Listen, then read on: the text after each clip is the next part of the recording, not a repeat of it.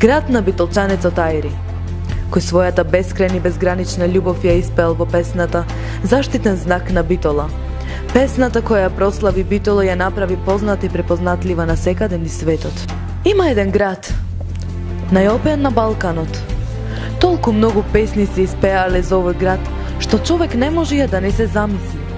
Повд има некоја магија која луѓето тугашни, луѓето дојденици, странци, луѓе на поминување, ги врзува со некоја невидлива нишка.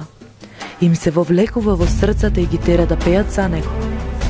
А верувањето зборува дека песната Битола мој роден крај има волшебна и лековита моќ. Има еден град, најградски, град во кој насекаде се забележуваат само турски фесови и затемнети фереджиња. Битолските дами шушкале во свила и кадифе, во кој фраковите и цилиндрите биле секојдневие. Град во кој на битолските консулски балови танцувала Европа. Има еден град, конзулски. град во кој низ неговите улици секојдневно се слушале разни јазици. Во кој не било ништо необично добар ден да ти посакаат на француски, англиски, германски, руски, турски. Во кој се плетеле муавети на разни јазици, а секој се разбирал со секого. Има еден град на пајтоните. Град во кој битолските поеми во пајтоните ја носеле својата љубов по пенџерите на љубените. Во пајтоните се носел меракот, се носела тагата. Во пајтоните се носела љубовта, додека ечеле свадбените кампани. Има еден град на клавирите. Град во кој немало куќа од каде не се лееле звуците на клавирот а битолските чупиња во мирас го носеле својот клавир. Има еден град на Манаки и на филмот. Град во кој за прв пат на Балканот се појавиле подвижните слики. Град во кој дури и турскиот султан стоел мирно.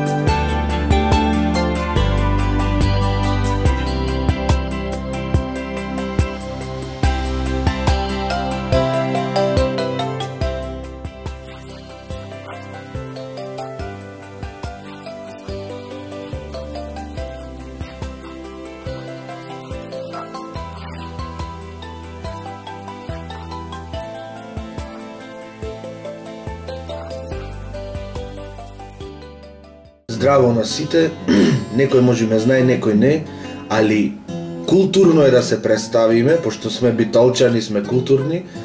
А, јас сум Никола Тргачевски Кумба, член на Солза и Смеја и уште како мал сакав да бидам кувар, али татко ми не ме пушташе да се запишам кувар и се запишав на медицина, али срцето не ме пушташе да продолжам медицина и тогаш се пријавив на една аудиција за таленти на Солза и Смеја, па ете сум тоа што сум денес, така да ги поддржувам сите оние што сакат да пробат.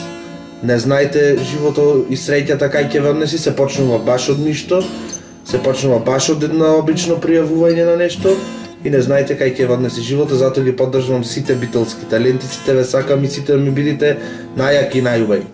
Чао!